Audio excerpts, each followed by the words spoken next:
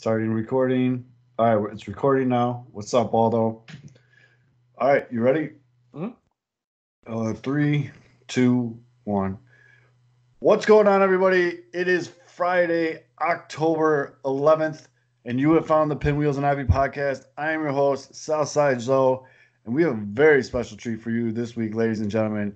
You are privileged enough to be hearing the inaugural Zoe and Kevin show because this is me and Kevin. Aldo's busy. Nuke is not giving kids A's because he's a dick, and so it's me and Kevin this week. What's up, Kevin? How's it going, bud? What's up, bud? All I can think about is the fact that right now, in a metaphor, we're riding a tandem bike together to the song of uh, "In the Summertime." That's all I can think of. I, I mean, I don't, I don't mind. I have the umbrella. I'll wear the white. I wear the white. That's fine. I, I'm cool with that. So, That's fine. You're. I think you are a little more pure, so that's fine. You wear the white, but so me and Kevin are going to talk about some stuff this week. Uh, Kevin just showed me has a bowl full of ice and white claws, so that's usually a good, promising thing for you, the listener. Um, we're going to talk a little bit White Sox hitting coach. We're going to talk uh, about a great string of tweets from uh, a member of White Sox Twitter, which I want to give him recognition and kind of go over this because and Kevin hasn't heard this team yet, so I want Kevin's like gut reaction. And then we're going to talk about the Cubs managerial situation and how job openings somewhere else, suck at Kepler, are going to maybe throw a wrench into what the Cubs want to do, maybe not. Um, so all that, and you know damn well when it's just me and Kevin, that shit's going to get weird. So stay tuned and let's tap this guy. As always, this show is brought to you by Sports Mockery, sportsmockery.com. Make sure you're downloading the application, enabling push notifications, so you will be the first person to find out all things Chicago news, like the fact that the Blackhawks are up one and one, nothing right now. But you're listening to this Friday morning, so that's not breaking news anymore. So shit, that sucked. Anyways, all kinds of breaking news. I'm very happy that the Blackhawks are playing again. Um, but let's start with the White Sox hitting coach. You good over there, Kev? How's Vegas Yeah, treating you? that's warm, sort of. It was windy today, but you know, not as windy as it probably uh, can be when you're on, you know, Twitter and you hear everyone with their uh, with their advice of how to fix franchises. And so, obviously, you got the White Sox pulling out a pretty good move, bringing in somebody familiar with their young pups. That Yes. allows those guys to make a great transition to the big club. I think it's a great move. 100% agree with you. Um, so, for those of you that don't know who we're talking about, the White Sox promoted uh, hitting coach Frank, and I'm going to butcher the shit out of this name. Menechino. Menechino. Oh, that's okay. That's not that bad. Frank Menechino. Uh, he was the hitting coach in Charlotte this year. Um, but before that, uh, he was the hitting coach for the Miami Marlins. And cool tidbit, I had no idea until today, and I'm not going to front like I know all about Frank Menechino. Oh, I like how you say your name. You, you start moving your shoulders. Oh yeah. When you you say start his talking name, with your like- hands. Yeah, you're You like talking with your hands. You can't say Yeah. it. sentence. Hey, it's Frank Menechino. Hit the And you ball. know I'm going to stab you in the eye with an ice pick. If someone has a bad swing, he doesn't say, "Excuse me, that's off." He goes, "Oh, Oh, whoa! What are you doing? oh, my. Oh, gabagool. Uh, but Frank, and we're, he looks the part so much. Uh, I'm looking at his picture right now. This mug shot. But Frank, uh, I did not know this, but people dug it up as soon as the hire was, or the promotion, I should say, was announced that uh, Giancarlo Stanton, very good hitter in this league, um, basically said that while in Miami, uh, he gives Frank all the credit in the world for helping him take that next step and becoming the prolific power hitter that he is today. And like I was telling Kevin pre-show, all I hear when I hear that is Eloy's hitting 80 bombs this year. I mean, that's just facts, people. But I mean, Kevin, you could talk to this as a coach. How important is it that he has a relationship with Zack Collins, Nick Madrigal, Danny Mendick, Luis Robert, and these other guys that these guys that are supposedly going to be the focal point of this big turnaround year in 2020? I mean, is, that's got to count for something, right? Absolutely. I mean, trust is everything when you have someone that's working on your craft with you. I mean, you know, you see players like Kris Bryant. His best hitting instructor his entire life is dad. Bryce Harper, very similar situation. that's an extended version of trust. But then you look further into it and you look at some of these guys that that do. They work with these individuals and they establish a rapport. They establish a trust. And you know, just like you have friends that can finish your sentences, when you have a hitting instructor that just knows your swing, mm-hmm. um, you can tell. I mean, honestly, I can tell you if he if he's this familiar and, and, and it sounds like he is with some of these guys, he can he could have his back to the cage, and he'll know precisely what happened by the sound. Because again, when you're a hitting instructor, you're hearing hundreds and hundreds and hundreds of reps from individuals on a consistent basis. You know when they're squaring up, and all of a sudden it becomes so familiar that that you know you almost you can almost like have your eyes closed I and you can hear it. I mean, players, each player has a, a, a sound, and so right. I think the fact that he's familiar with these guys, there's trust there. When they have mm-hmm. flaws in their swing, especially at the big league level, there's egos involved. I mean, oh, you yeah. saw what the Cubs did with Chili Davis when Chili probably started trying to change a lot of stuff with some of the lift and pull stuff in Chicago with the Cubs, and they sent him packing. Right. You got a guy here that not only is he familiar with them, but it sounds like he's got their respect. And having Giancarlo Stanton give you that kind of blessing and an endorsement, that you know, what else can you do? I mean, and so that you know, we, the young pups hear a guy like that, a veteran like Giancarlo, say that there's yeah. some credibility there, and, and they're going to be more inclined to listen and make adjustments on his word. Because the biggest thing, and I, I agree with everything you just said, and the biggest thing to me is his his work with Luis Robert. Okay, so like this guy is supposed to be like it. This is your guy next year, no matter what. And um, actually, so Frank Menechino uh, came out and he had uh, an interview with Chuck Garfien. Shout out Chuck, you do great work. But um, and he asked Chuck asked Frank about Luis Robert, and he's like, the kid's a beast. And he goes, can you? What about him? And he goes, it's not the balls that he hits square. It's not the balls that you know he times up. It's he goes, watch a couple of his home runs again. He is completely fooled by sliders down and away. He's way out in front of it, and he basically hits a one-armed home run. He's like, I've never seen a hitter do that before. He goes, he'll hit a ball, and I'll be like, pop out and then next thing I know, it's going over the wall. His quote was, "The kid is a beast." So I heard that, and I'm not gonna lie, it moved a little bit when I heard that today. I was like, "Yo, what's going on? I gotta go to the bathroom." Uh, but and I mean, he was no slouch. The Knights had a great year this year hitting. They they led the International League in runs scored. They were second on on base percentage, slugging percentage, and OPS, and third in home runs. Mm-hmm. I mean, he earned a he earned a promotion that's got to tell you too how the White Sox are feeling about the future of their their franchise. It's not we're a year away or two away now. If they're bringing someone up like this with that kind of familiarity, that means that the young guys are on the way. I mean, that means that you're going to get a Lou Bob next year. Yep. You're going to get Mickey Mags next year. You're going to get these guys because they're they're they're bringing up their guy. I think that right. you know the continuity. I mean, just like with I mean, you know, as a high school teacher too, you know, if you could teach the same class for four straight years as like an English teacher or a math teacher, think about the rapport that you would have with that class in year two, three, four. Like you're gonna, you almost, you again, you can finish each other's sentences because you're familiar with the way you speak. There's no like the communication skills there. It, it comes effortlessly. So I think that that that is a real good indication that the White Sox believe that their young pups are on that brink now, and that next year isn't just a rebuild year, but it's more or less let's let's all right, let's throw it down and see what happens kind of moment, which is got to be exciting for Sox fans, unless Jerry Reinsdorf is just doing this to sell tickets, so they finished in second place. But right. um, did you notice? Did you know too that he was a 45th rounder at an, uh, for the White Sox in '93? He's a former White Sox yes. draft pick. So I mean, right. they're bringing someone that that that they took.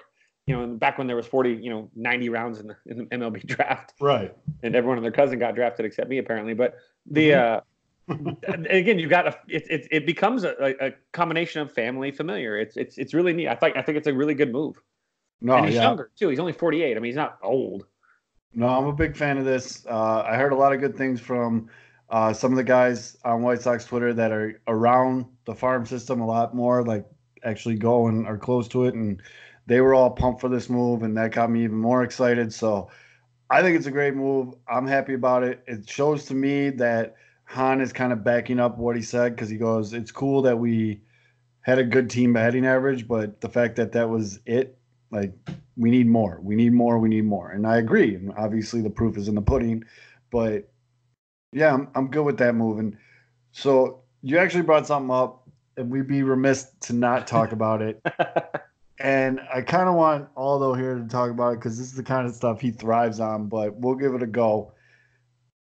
So, this shit with Jerry Reinsdorf saying now this other owner or former owner came out and said that Jerry told him basically, ideally, you want your team to continue to finish in second place because that's going to keep the fans wanting more. It's going to keep selling tickets.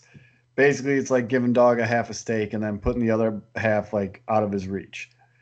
And so that came out and people were pissed, myself included.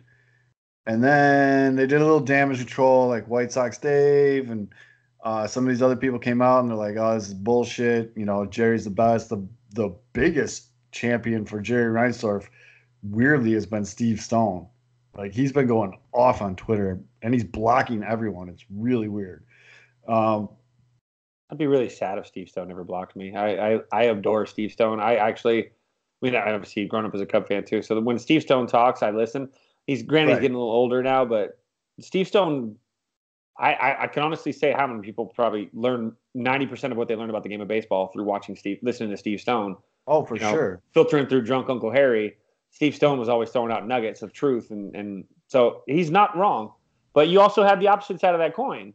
You had a very popular White Sox player who Arguably is also very controversial and has gotten his ass beat on the mound a few times in actual physical fisticuffs had yep. a cool black eye for a while. I remember was that like 91, 92 where he had the black eye or whatever. Yep. You got that. That was it. Joe Carter. It Joe Carter that they got in that little brawl? Was it Joe that threw like the the haymaker? I believe so, but keep going. I'll look it up. But, but he, uh, you know, so you have a guy, you know, Blackjack McDowell, who flat out says that he heard the same thing from the horse's mouth. And did did he go on the radio yet, or was that still coming? Where he was going to go and tell the whole story? I know he was supposed to be so that's the other thing. So this is where it gets weird. Okay. So all of a sudden, uh, Steve Stone is like playing the role of company man, and he's toeing the company line hard on Twitter. And then Blackjack puts that stuff out, and he gets invited on 670 The Score. And everyone's like, sweet, we're going to hear him tell this story. He cancels the day up, never does the radio oh. appearance. So now there's all these White Sox conspiracy theories that Jerry and the crew are pulling some kind of strings behind the scene, being like, Blackjack, you better shut the fuck up. So, or he showed up like Scrooge McDuck with two burlap sacks with do- big dollar bag signs on them. And he's like, here you go, shut up. Or they just sent, you know, they sent Frank Frank yeah. To his house Yep. With, with with a, with a bag in a trench coat and said, "I'm a new hitting instructor." Hey, hey, shut your mouth! Or they showed Joe Carter showed up and just punched him in the face again. uh, a stand up of Joe Carter, like a placard so that, in front of his. So that was weird, and like the story's still pretty prominent, but like I know I shouted out Chuck and those guys on White Sox Talk do a really good job, but they just released a brand new podcast and they didn't address it at all. They didn't even mention it happened. So being in Chicago sports for as long as I have, with the background that I have, like I've seen and heard some things about all the teams in Chicago. Not one team is innocent about give or take control in the media a little bit. Oh, absolutely. It's called flack. Yeah. Right. And I don't know, man. This this kind of stinks a little bit it's probably nothing. I'm probably overthinking it. It's just the way I'm wired nowadays, but it's just weird to me how this was a huge thing and then it, it's kind of like just you know, they hire the new hit. It's I don't know. I wouldn't be surprised if the Sox go out and make like a huge free agent signing in the next couple weeks. Just to be like, oh, look at we're trying. It's real. Look at it. Well, the cat's out of the bag though too. And what you're talking about, um, I don't know if you're familiar with Noam Chomsky, who's a very well-known media critic. Not not necessarily it has nothing to do with sports. In fact, a lot of politics more, but the corporate media model in general. Um, what they talk about is the idea of flack. You know, I, yeah, I mentioned flack earlier. You know, mm-hmm. you people get their press passes pulled. People people lose access when right. they cross the wrong part of the franchise, and it's not something that's it's not something strange. I know that for a fact here I know multiple people here in Las Vegas that are on that list from UNLV. They're not going to get press passes because they criticized UNLV's administration and and they've been very vocal about it. And their press passes all of a sudden just magically disappeared. And if that's just like a smaller place, like here in Vegas, I can only imagine that in Chicago, where it's a billion dollar company, um, yep. where something that could really hurt that bottom line, which is ticket sales and credibility.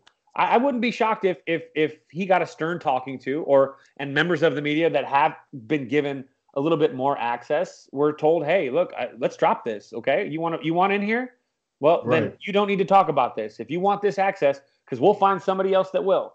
And the idea of the corporate media model and and, and how they can treat people with flack uh, and, and kind of draw them away from their subject, it, it's very easy to manipulate a sports writer that because if you don't have access, you're just you're a nobody when it comes to you're you know, a blogger. You're a blogger, yeah, and that's yep. that's sometimes the, considered to be the yeah, even though I don't feel it's that way, it is considered to be like the lower class citizen. And I would hope you don't want to be that. You're a freaking blogger, dude. I'm a freaking blogger, right? So, but I'm just saying, like, and the White Sox though have been very good to bloggers. They they give bloggers probably out of all the Chicago teams, the White Sox give the blog bloggers more access than any other team does.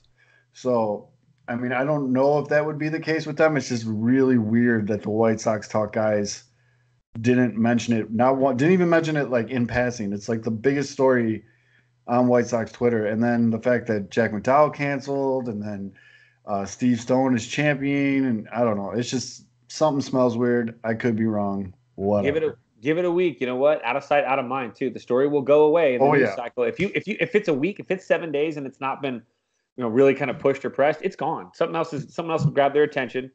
You know, and they just you know we are such a short term memory kind of society that all it takes is a seven or eight day cycle and it's we're on to the next. But I, I do think that Sox Fest will be pretty pretty um, entertaining if if Jerry or or someone in that Jerry box, ain't going to that shit. Somebody gets a question about that I can imagine that being something that someone's going to bring up sooner or later, um, but not someone that's in the media. If they if they know it's you know if you know what's good for you, you ain't well, gonna yeah. bring that up there, big we'll guy. see because last year the Sox gave myself included and a lot of other bloggers uh, full pa- full media passes to Sox Fest. I mean, we'll see if that's the case again. We didn't get to ask shit for questions. Like when uh, Rick was on the podium doing his thing, like the real journalists like looked at, like you said, like, get to the back, peasant. I was like, yeah, okay, this is your gig, dude. I don't get paid for this. This is you, man. Go for it. But, and let's just, are you surprised? I mean, even if there's like an ounce of truth to this, I'm not, we've lived under the Reinsdorf regime for basically my whole life. I'm 35 years old. I'm I didn't even flinch when I read this comment.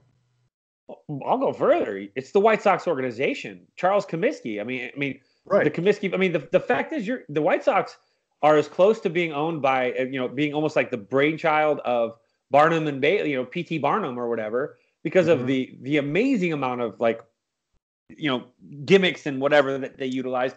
I, I and again, but you look at the numbers too. I mean, it's not. Stu- I, mean, I think when we had a show when we had a show back in the you know when when, when Machado and, and Harper were possibly going to join the White Sox. And they had Bryce Harper at the United Center. They had a big old like welcome to the White Sox, and they put his number up on the board, and everyone's freaking out. And within mm-hmm. 24 hours of all that madness, the White Sox do a ticket drive for like ticket packages. Oh yeah. And then a couple days later, then everything finds you find out Manny's gone, Harper's gone. But they they strike when the iron's hot. That's good business. That's not. I don't think that's sketchy by any means. I think intentionally trying to go second place would be sketchy, but I don't think at this point Jerry Reinsdorf is is he right. needs a title. He wants a title before he dies. I don't think the guy's gonna gonna to vacate that part of it for a couple extra dollars that he'll probably never touch.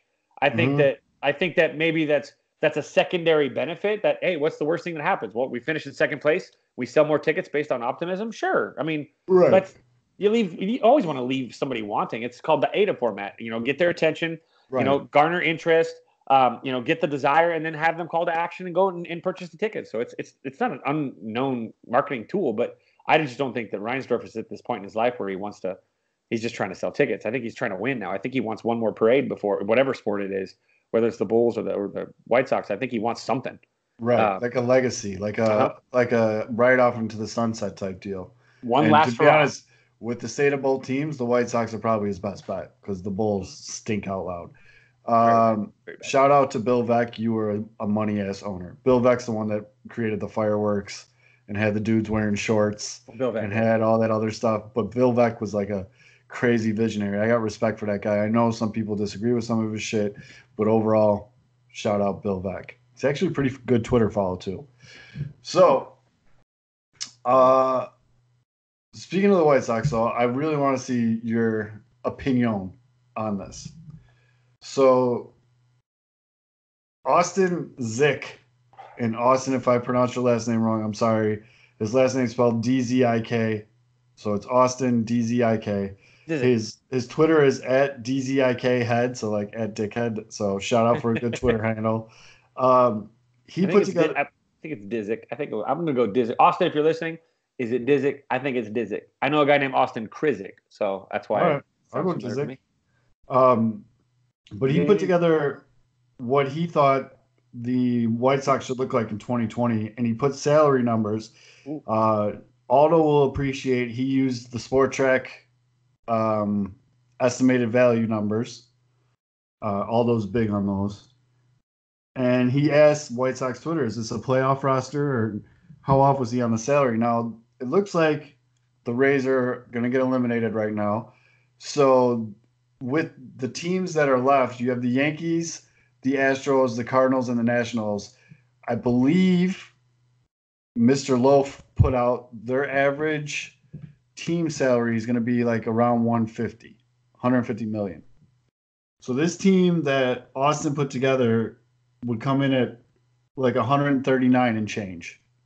Okay, so that'd be up from what they currently spend. So here you go. Here's your pitchers.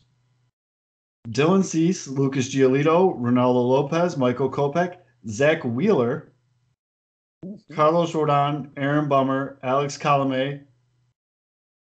Where did the other pitchers go? Jimmy Cordero, right? Jace No- Fry. Oh, here you go. Yes, Jimmy Cordero, Jace Fry, Kelvin Herrera, Evan Marshall, Ian Hamilton, Dylan Batansis, Mhm. and Josh Osich.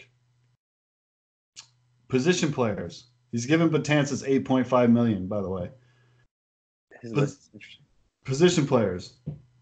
Abreu, TA, Yo-Yo, Leury Garcia, Eloy, uh, Luis Robert, Nick Madrigal, James McCann, Yasiel Puig, Yasmani Grandal, Danny Mendick, and Howie Kendrick. Grand Slam Howie Kendrick. Yeah, hero. So he's given Puig 15 mil, he's given Grandal 18.5, and he's given Kendrick 5 mil. He's given James McCann 4.9 million. Earned. Yes, and he's giving Zack Wheeler 25 million. So with all the other salaries and that put together, it comes to 139 basically just under 140 million. And he's asking if you think that's a playoff roster. I love this roster. I am a big fan of this roster. I think there's a lot of wins in that roster in that Central Division in the American League. That's for sure. Because Yes. I think there are a couple teams in that in that division that are pretty far away from being like serious. I mean, obviously the the twin or not the Twins, the uh, um, the freaking Tigers are like a 120 loss team probably for another year. The Royals are really bad.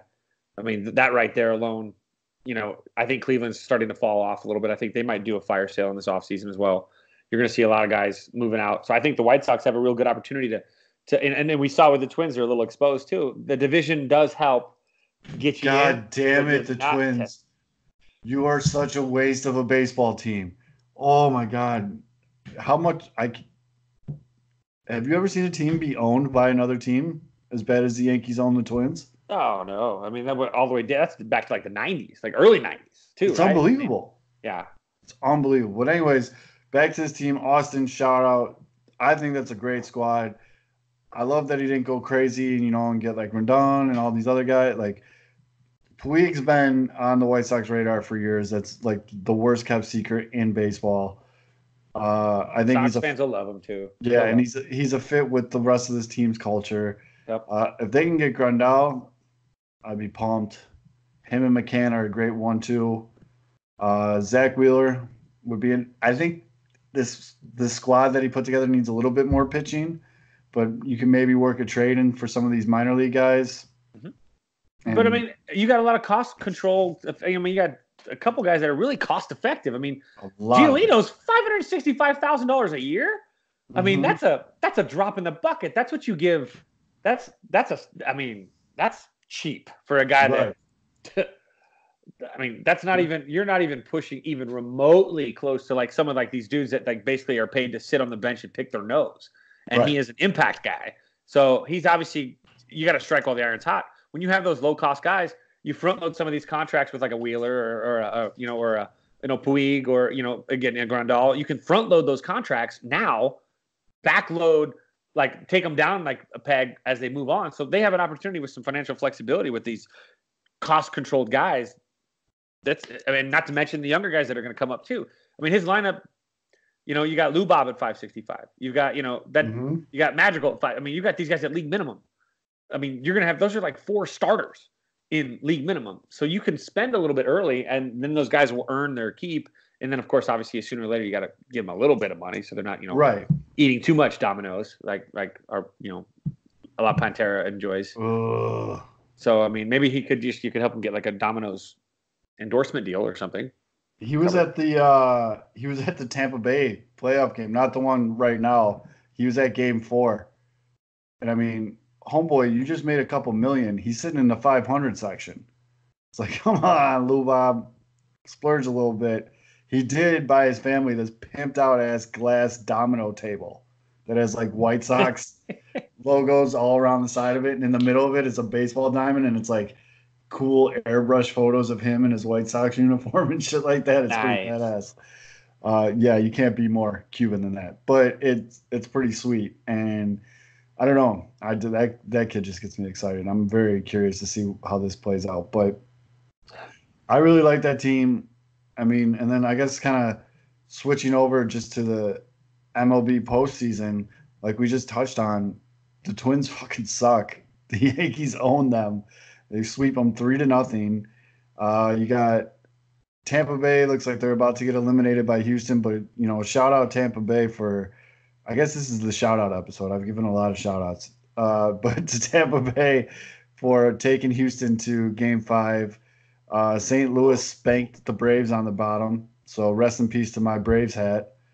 Um, St. Louis moves on, and then you got the Nationals upsetting the Dodgers in a wild game five.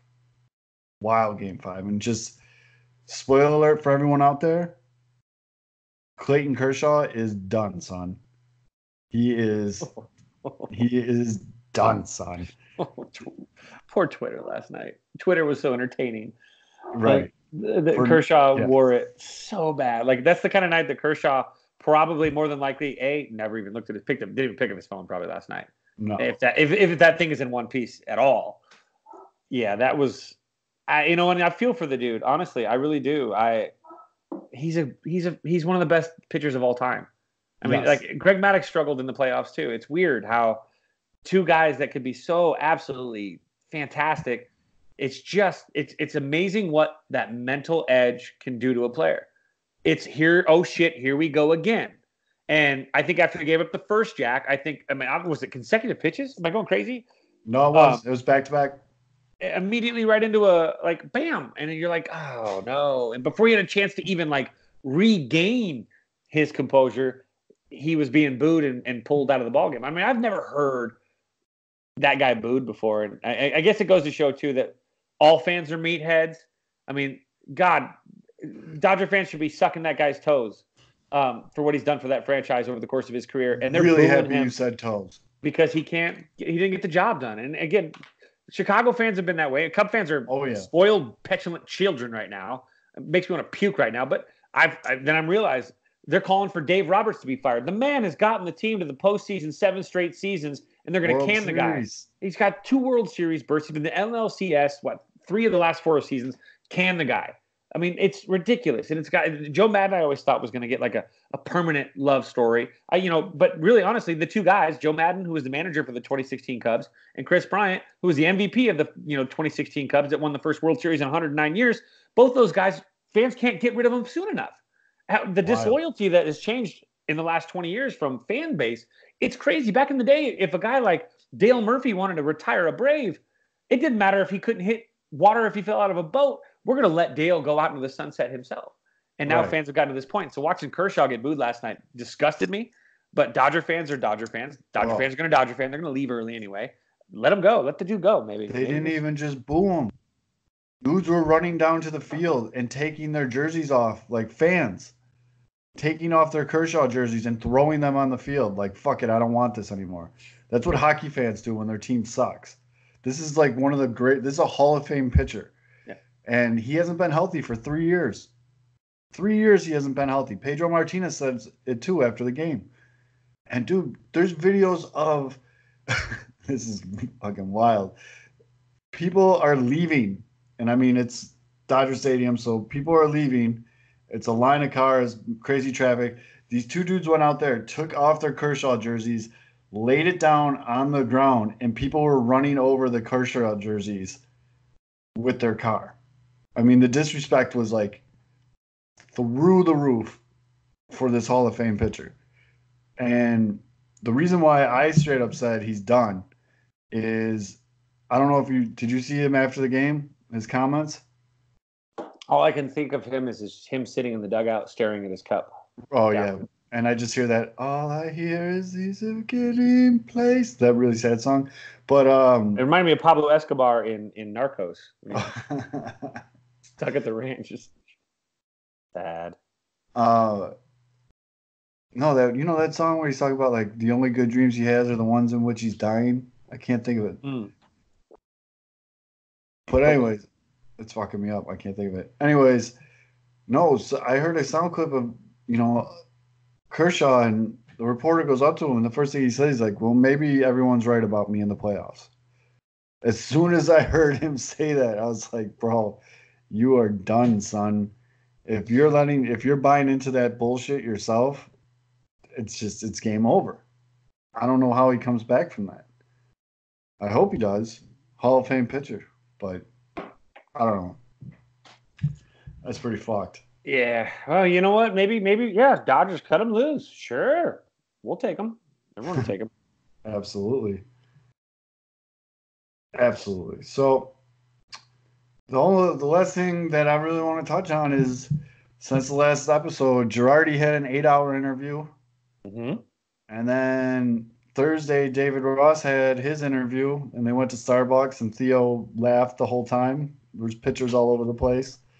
Um, but the interesting thing to me is Gabe Kapler got handed his papers by the Phillies. And you and I were talking about a little bit before we came on here. Girardi's pretty much a perfect fit for the Phillies.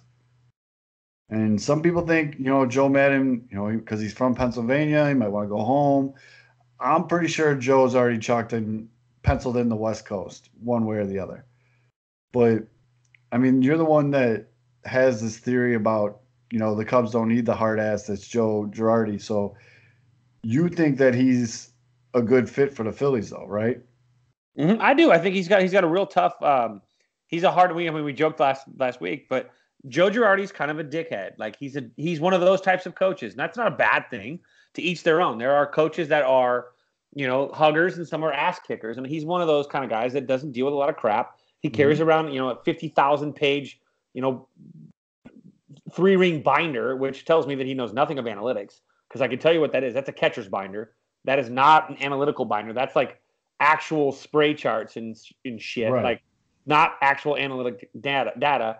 But he's one of those guys that is. He's a guy. You know, I think the Phillies need a guy to throw someone up against the wall. That's kind of a little bit more their mentality. Bryce is a balls deep testosterone kind of guy. He Mhm. thrives on that whoa kind of mentality. Cubs aren't woo mentality. I mean, you might get Javi or Contreras a little bit woo, but these guys are more or less these are calm, low pulse kind of guys in the Cubs. And so getting a guy that comes in that's going to get in their face is a terrible idea. You might as well trade Kris. You might as well trade Rizzo. You might as well trade Javi because those guys Contreras because those guys are going to drive Girardi nuts. It'll take three or four games before Girardi's benching him for attitude. Like Girardi's that guy, and great for the Phillies because they do they need it something. They need something. And Kapler, you know, he I think he was doomed before he started because he was already dealing with like the like the sexual harassment stuff and all that. I mean, the dude was already like beat before he got there. And I don't, you know, Kapler's actually a pretty hard nosed dude too, but I think Girardi just he's a catcher and he just has that like mentality. So it's a good fit for Philly. He's just a horrible fit for Chicago. It's just not. I mean, all these Cub fans that are saying it's just because it's like the glamorous thing to say. It's like saying, you know, that Mike Ditka is the greatest coach in NFL history. Let's be honest, he's not. Woof. But let's be honest, he's not. I mean, he's He one of. not. No, But- no, he's not. But when McCaskey, you know, McCa- when people forget about the, the lean years too. It's it's so it just you know it's it's they're making Girardi something he's not, um, and it's not a good fit for the analytical. You know, I mean, there's a build and there's a manager for every type of build, and he is a great match for that build in Philly. He's a terrible match for the build in Chicago. I don't think he's a great match like for like for the White Sox. If they were the White Sox were looking, it'd be a bad build. But a team like say, uh, you know, you look for teams that are a little more hard nosed, blue collar, and that's where he would fit well. Um, but he's just eh, the Phillies job. I think is like prime for him. So that was a huge open for him, and that could, you know, if if even Theo was entertaining even the idea of hiring Girardi, which he, obviously he had to have because he did the eight hour interview, but hopefully that pulls it off the table immediately and pulls the carpet out from under him if he was ever considering it, because I think that would be the biggest disaster ever for for the Cubs. Phillies, Right. great, perfect. And remind everybody who you want the Cubs to hire. Ryan Christenson with the Oakland Athletics hasn't even been mentioned for an interview, although um, they are. They looks like they are going to talk to what's his name from the Astros. I'm okay with that. Uh, the bench Uh, coach. the bench coach, yeah, and Christenson, still my guy. Uh, I, you know, it's a long process. Theo doesn't have to rush. You know, it's not like college sports where like you got to hire a coach so the recruits don't bail on you. It's not like you know the free agency market doesn't even open up for another how many more weeks? What two, three weeks maybe? When the World World Series kind of ends, when the when the calendar flips over, you don't have to rush into a decision. So Theo's going to take his damn time, and he should. Um, he's interviewing the usual suspects right out of the gate. Girardi was always someone that people talked about. People are happy, yay! You know they you know they interview Rossi, yay! You know probably sell a few ticket packages here and there. Um, but they're going to do their due diligence, and Theo's got his process, and I you know his process is exhausting. You know, Joe Girardi looked like he was being walked out to execution when he was done. You know, Mhm. David Ross was sipping on his iced coffee today. So there's Right. different people for different types of things, and and maybe Girardi got into that interview and he's probably four hours in going, "Oh shit, I made a mistake. This Right. is not this ain't for me either." And so, you know, it really is. It has to be a good fit because it has to be a communication thing with the up, you know upper management with the front office, but it also has to be a communication thing with the guys, you know, um, in the clubhouse. And I, I'm- I'm looking at Davey Martinez, and I honestly think the two best managers for the Cubs. God, the Cubs aren't going to be able to steal Davey back, but No. I think the biggest mistake the Cubs made was letting Davey walk after 2016. The Cubs haven't been the same since he left. He was a fantastic bench coach, and if they knew that Maddon was going to be let walk, that you know, 2 Mhm. years, three years down the line, why the hell not keep this guy around as the heir apparent? Obviously, he's a perfect example because that team is a bunch of dog fighters. I love it. They come Yeah. back every they, they don't quit, and and I just wish they didn't have Adam Eaton. Fuck You know- Adam Eaton.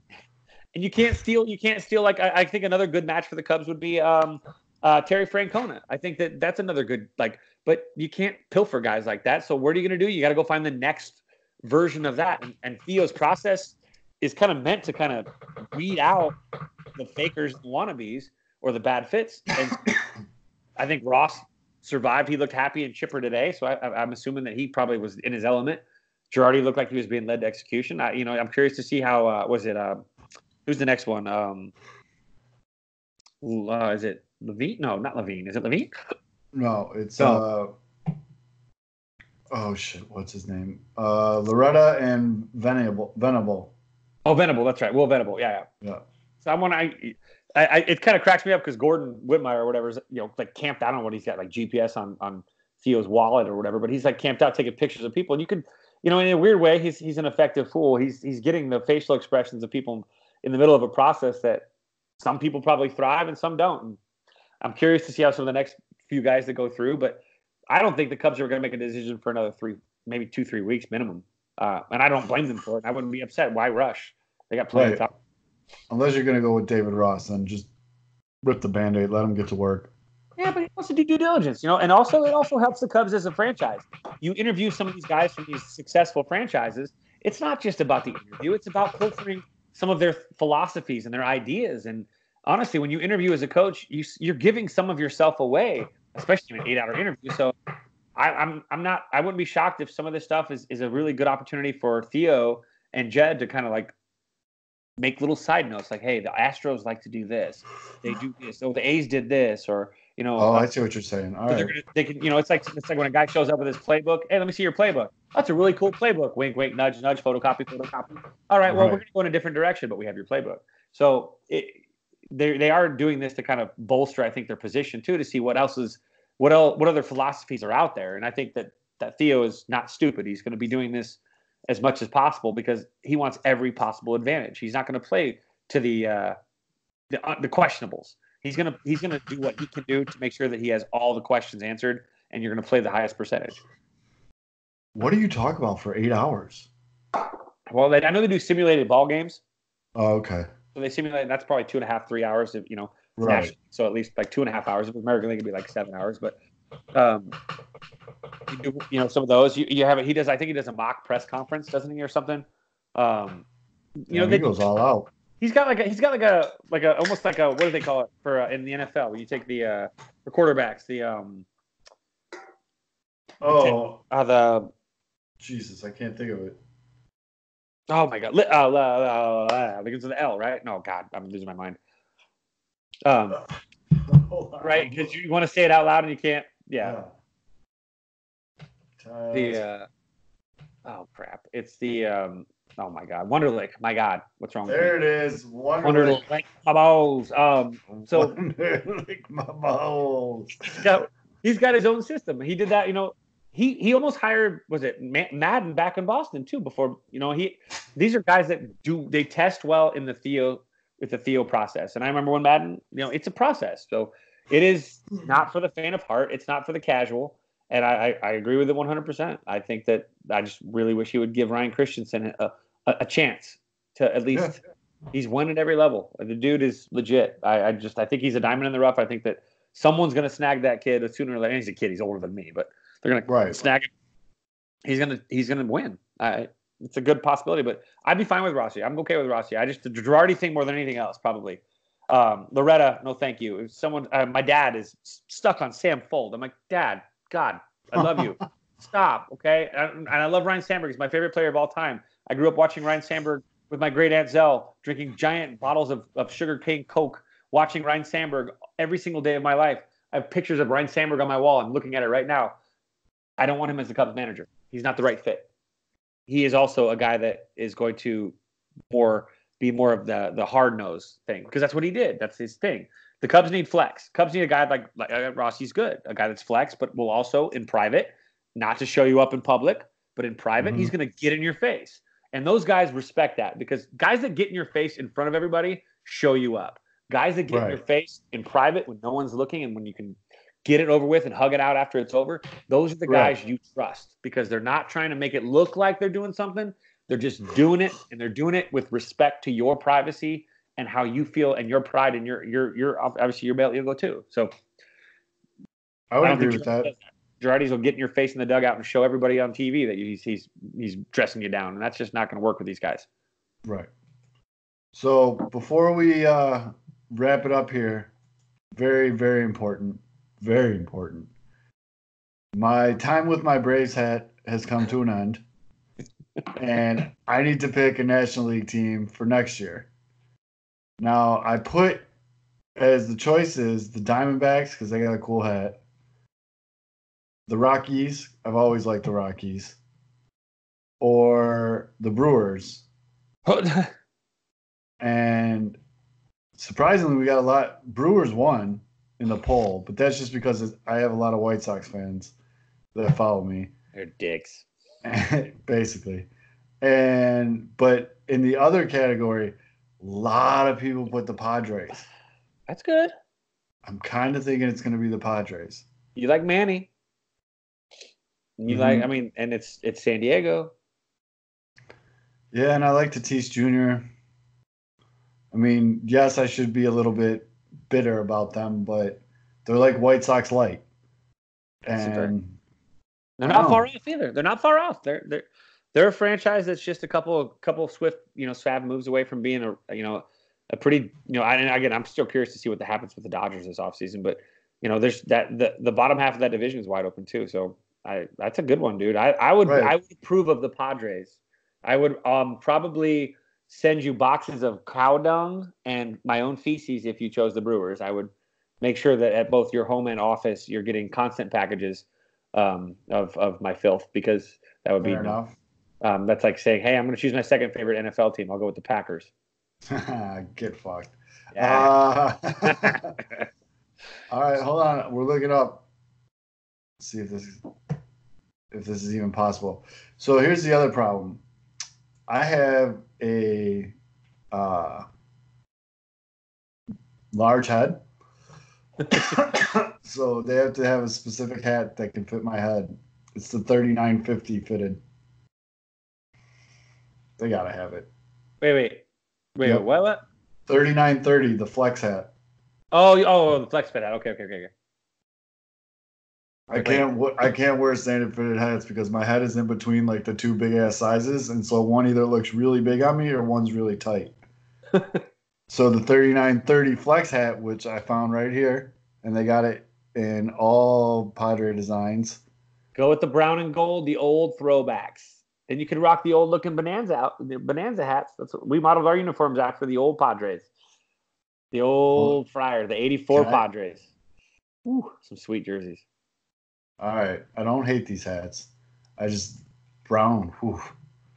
'84 Padres hat. Look at that thing. The I brown. got I got it. oh, so nice. The panel, the, the yellow Can panel. Ooh. Can I do this? Hold on, let's see. We're gonna get real technical here. Oh, guess not. I was gonna try to share my screen with you. but- Uh, I'm well, I'm looking at them right now. They're beautiful. I, I love the. I actually, well, again, we modeled our hats at Bonanza after this. You know that that jersey that I mean, the bobblehead I have of Kris that he wore. I'm looking at it right Oh. now. He uh, it was his high school uniform. We did like when we had like a. a but I, I got to admit, just I like the solid blue with the white SD, the ones that they currently wear. Oh, okay. I'm just a I big just fan of the old throwbacks, even though they beat the Cubs in '84. Well, I love those throwbacks. Brown and gold is so ugly. It's so awesome. I guess that's why I like it. It's like Yeah. awesomely ugly, and it really it doesn't. It, I can tell you this, having coached for ten, uh, almost eleven years at Bonanza, those hats don't go with anything. Well, see, yeah, that's the thing is I'm not playing shortstop for my high school team. I'm gonna wear this like out because I always have a hat on. So I might go with the blue, the navy blue with the white SD. It's strong. Jersey. Oh, they're on sale right now. Twenty-five bucks. Let's do it. Twenty-five dollar. All right, you got anything else before we wrap this shit up? I mean, I, I mean, it's the playoffs. I mean, we've got Cardinals. What? What? Who's left now? Cardinals and uh, Nationals, and we got what? Uh, It's gonna be- Yankees and probably gonna be Astros, right? Unless something weird happens. unless the Rays somehow score four runs in the next six outs. So that means that the AL is going to win the World Series. It doesn't matter who; those two teams are far superior to anything in the National League. I would love the Nats to get there. If Davey Martinez is going to win one now, I hope it's now, because Cubs hopefully will be back fighting next year. Right. But the Yankees, they can go suck a fat one, and you know the Astros, I'm good with that. That's fine. But I feel like everybody are so- likes the Astros. Why does I mean, I everybody do. like I- the Astros? I I like the Astros though when they started the rebuild, so I jumped on board when they started rebuilding. So I have my old Astros hat that I because I went to a couple games out in uh, Houston. I have my hat, and my hat's old. My hat's like from 2000, like 10, 2011 maybe, 2011. I think 11 or 12. It was right when they started the rebuild. I'm like, I'm gonna jump on board. My ex girlfriend was from Houston, so I was like, oh, easy, blah blah blah. But I love the old Houston hat. I got the old, you know, the old Nolan Ryan Astros hat. I love it.